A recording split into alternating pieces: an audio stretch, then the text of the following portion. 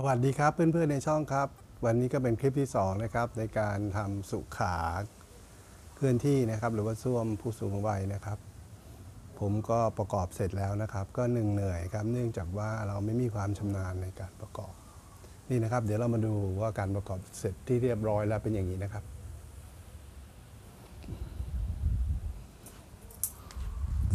ชิ้นส่วนก็จะเป็นพลาสติกนะครับ ผมประกอบเสร็จแล้วนะ เดี๋ยวหมุนให้ดูรอบๆนะครับ ถามว่าทำไมผมถึงเลือกรุ่นนี้ เพราะรุ่นนี้เขาพนักพิงใหญ่นะครับ แล้วก็มือจับ มีจับแล้วก็มีพนักพิงนะครับ ความสูงก็เท่ากันกับสุขภัณฑ์ทั่วไปนะครับ เดี๋ยวเราดูกันก่อนนะครับ จริงๆเขามีกล่องกระดาษทิชชู่ด้วยนะ แต่ก็ผมไม่ได้ติด เพราะว่า ไม่ได้มีปัญหาอะไร เพราะว่าส่วนใหญ่แม่ผมใช้ก็ใช้แบบใช้เบา ไม่ได้ใช้เข้าหนักนะ นี่นะครับ เวลาเราจะเปิดใช้งานก็นี่นะฮะเขาก็จะมีถังให้ อันนี้ก็เป็นถังแบบเราหิ้วไปทิ้งนะครับ แล้วก็ถังอีกแบบหนึงก็จะก็จะเป็นถังแบบที่เราสามารถที่จะเอาพลาสติกนะฮะพลาสติกถุงพลาสติกดำเนี่ย เอามารองไว้ได้ วลาถ่ายเสร็จก็ลงถุงพลาสติกเอาถุงพลาสติกไปทิ้ง อันนั้นกรณีอีกกรณีหนึ่งนะครับ เพราะนั้นไม่ต้องงงนะครับ ถังก็จะมีสองแบบ ถังหิ้วไปทิ้งนะครับ ไม่มีรูนะครับ ถ้าถังใช้งานกับถุงพลาสติกดำก็จะเป็นถังแบบนี้นะครับ แล้วก็จะมีกล่องใส่กระดาษทิชชู่นะครับ ซึ่งก็ติดด้านข้าง ซึ่งผมก็ไม่ได้ไม่ได้ติดนะนะมันก็ติดง่ายๆนะครับติดเข้าไปอย่างเงี้ยอยู่แล้วครับแค่นี้ แต่ผมไม่ติดอะนี่นะครับ มีฝาปิดนะครับ ตัวนี้ก็เป็นที่เก็บสกรูนะครับเขามีสกรูมาให้ทั้งหมด 8 ตัว แต่ใช้จริงๆอะแค่ 4 นี่นะสกรูคือเขาเผื่อมาให้เผื่อหรือเผื่อขาดมาให้ ก็ถือว่าดีฮะนี่นะฮะสกรูมีฝาปิดนะครับ แล้วก็มีโถ ถังรองนะครับ ก็จะว่าง่ายก็ง่าย จะว่ายากก็ยากครับ การติดตั้ง ถ้ารู้ทริคนะฮะ ผมได้พยายามทำตามคู่มือนะฮะ ยิ่งทำให้งงเข้าไปใหญ่เลย เพราะว่าขั้นตอนแรกเขาให้ฐานเนี่ยมันจะมีฐานเนี่ยมันจะมีพลาสติกอยู่ทั้งหมด 4 ชิ้นนะครับ ชิ้นหน้านะครับเป็นครึ่งวงกลมนะครับ แล้วก็ชิ้นหลังนะครับ ก็เป็นอีกครึ่งวงกลมนะครับ แล้วตัวที่จะเชื่อมพลาสติกหน้าหลังนี่ก็คือแผ่นนี้ฮะสองแผ่นนะฮะซ้ายขวานะฮะผมเมื่อมึนอยู่พักหนึ่งถ้าเราทำตามคู่มือเขาขั้นตอนแรกก็คือว่าแผ่นหน้าแผ่นหลังประกบนะฮะ แล้วก็พลาสติกสีเขียวเสียบ อันนี้ผิดนะฮะวิธีทำก็คือว่าให้หงายขึ้นนะครับ หงายขึ้นลักษณะนี้นะครับ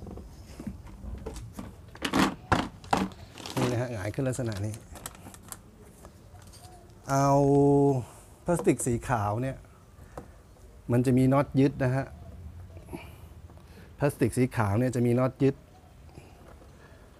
ชิ้นละ 2 ตัวนะฮะ จะมีน็อตยึดชิ้นละ 2 ตัว วิธีทำก็คือว่า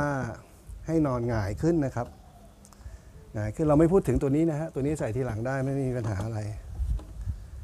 เอาพลาสติกสีขาวเนี่ยนะครับ ตัวหน้านะครับ เสียบลงไปก่อน แล้วก็ขันสกรูสองตัวนะฮะนี่นะเขามีสกรูสองตัวหนึ่งและสองนะครับ ในทางเดียวกันครับ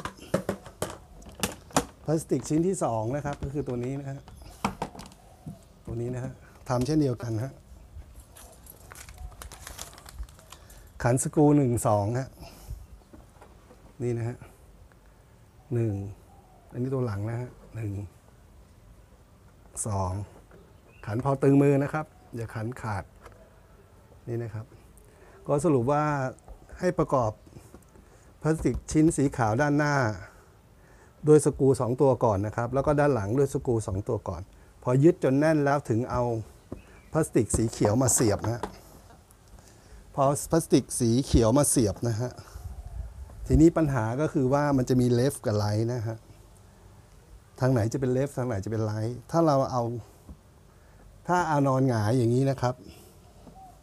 ถ้านอนหงายอย่างนี้นะครับ ด้านหนึ่งก็จะเป็น ผมดูก่อนนะ นี่นะฮะตัวนี้จะเป็นเลฟนะฮะอีกอีกด้านหนึ่งจะเป็นไลท์นะฮะเพราะว่ายังไงมันใส่ไม่ได้อยู่แล้วเพื่อนคือพลาสติกสีเขียวเนี่ย ถ้าเสียบผิดฝั่งนี่มันจะเสียบไม่เข้านะฮะนี่เขามีสกูยึดอีกนะ ผมเพิ่งจะสังเกตเห็นนะฮะเขามีสกูยึดอีกนะเนี่ยยึดแผ่นสีเขียวเนี่ย อีกข้างละหนึ่งตัวนะฮะ เป็นอีกสองตัว นอกจากมียึดสีสีขาวแล้วเนี่ยสองตัว สีขาวหน้าสองตัว สีขาวหลังสองตัวนะฮะ ยังมีสีเขียวอีกนะครับ ผมก็ยังไม่ได้ยึดนะฮะ เดี๋ยวจะยึดเดี๋ยวนี้เลยนะครับ ต่อกันนะครับ ให้หงายขึ้นนะครับ ใส่พลาสติกตัวหน้ายึดสกูสองตัวนะครับ แล้วพลาสติกตัวหลังยึดสกรูอีก 2 ตัวครับ พอได้แล้วถึงเอาแผ่นพลาสติกสีเขียวเข้ามาเสียบนะครับทั้งซ้ายและขวา แล้วก็ยึดสกรูอีกข้างละหนึ่งตัวนะครับ ผมเพิ่งเห็นเมื่อกี้เองนะครับเขาก็ให้สกรูมาทั้งหมด 8 ตัว ผมว่าเอ๊ะทำไมมันให้มาเยอะจัง ก็ที่ใช้จริงๆก็ตอนนี้เท่าที่ผมใส่ไปนะครับ ก็มี 6 ตัวนะครับ นี่นะครับ แผ่นหน้า 1 2 ให้ติดก่อนเลยนะครับ แล้วก็แผ่นหลัง 1 2 แล้วก็เอาพลาสติกสีเขียวมาเสียบนะครับ อีก 1 และ 2 นะครับ ตัวนี้มันจะมีซ้ายขวานะครับ คือถ้าเสียบผิดมันจะเสียบไม่เข้านะฮะนี่นะขันเข้าไปนะครับผมดูแล้วก็ไม่มีสกรูแล้วนะเดี๋ยวจะมีตัวนี้ไม่มีแล้วนะครับ แล้วก็เอาแผ่นยางกันลื่นเอามาใส่นะครับ ตัดให้พอดีเพื่อกันลื่นนะครับ แล้วก็ตั้งขึ้นนะครับ คือฝานี่เขาจะมาอย่างนี้เลย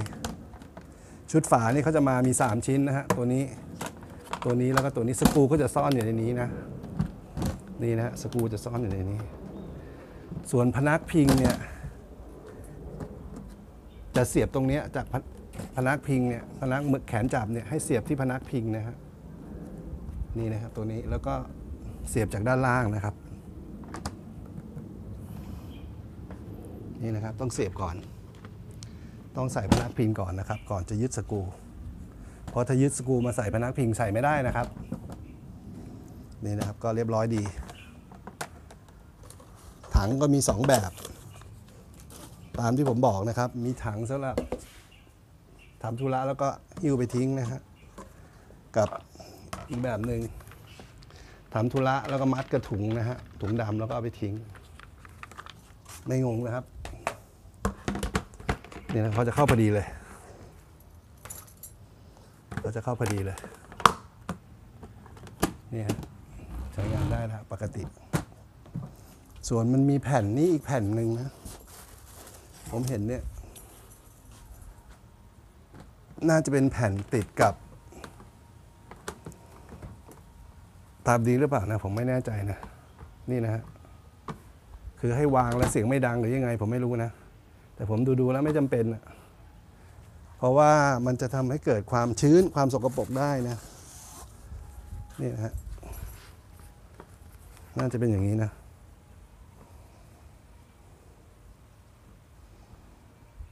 นี่นะฮะ หรือยังไง ผมก็ไม่ติดนะ ก็รีวิวสั้นๆแล้วให้กับเพื่อนในช่องนะครับ วิธีประกอบก็คือต้องหงายก่อนนะครับ ให้ติดที่พักแขนก่อนนะครับ ติดที่พักแขนกับพนัก วิธีติดพนักก็กับพนักเสียบเข้าไปก่อนนะฮะแล้วเอาที่พักแขนมาเสียบซ้ายขวาแล้วก็ด้านนี้เสียบด้านในแล้วก็หงายขึ้นอย่างนี้นะฮะหงาย ขึ้นนะครับ แล้วก็เอาพลาสติกแผ่นหน้ามาเสียบลงไปนะครับ แล้วก็ขันสกรูสองตัว แล้วพลาสติกแผ่นหลังก็มาเสียบลงไปขันสกรูสองตัว แล้วก็พลาสติกข้างมาเสียบนะครับ ขันสกรูสันสกรูข้างละหนึ่งตัวนะครับ แล้วก็ติดยางกันลื่นนะฮะแล้วก็ตั้งขึ้นมา ตามนี้เลยครับ ก็ใส่ถัง เราจะใช้แบบไหนเราจะใช้แบบหิ้วทิ้ง เราก็เอาตัวนี้มาใส่นี่นะฮะหรือเราจะใช้แบบผูกกับถุงดำเราก็เอาตัวนี้มาใช้นะครับ ส่วนใครจะใส่ไม่ใส่ที่เก็บกระดาษทิชชู่ก็แล้วแต่นะครับ ก็ใส่ง่าย ๆ อย่างนี้นะฮะใส่ง่ายถอดง่าย แค่นี้เองครับ เรียบร้อยแล้วสุขภัณฑ์เคลื่อนที่ สำหรับผู้สูงวัยนะครับ ก็รีวิวเอาไว้สำหรับเพื่อนๆในช่องนะครับ หน้าดำเลยอะนะครับสำหรับสุขภัณฑ์เคลื่อนที่หรือว่าส้วมผู้สูงวัยนะครับ ก็ถ้าเพื่อนชอบคลิปนี้ก็ช่วยกดไลค์นะครับ ถ้าคลิปมันมีประโยชน์ก็ช่วยกดแชร์นะครับก็ขอบคุณเพื่อนๆที่ติดตามชมคลิปให้กำลังใจมาตลอดนะครับ เจอกันคลิปหน้าครับ ส่วนตัวผมว่ามันประกอบยุ่งยากนิดนึงนะ แต่ถ้าเราเข้าใจเขาใจเย็นๆทำแล้วก็คงไม่ยากครับ เจอกันคลิปหน้าครับ ขอบคุณมากครับ และสวัสดีครับ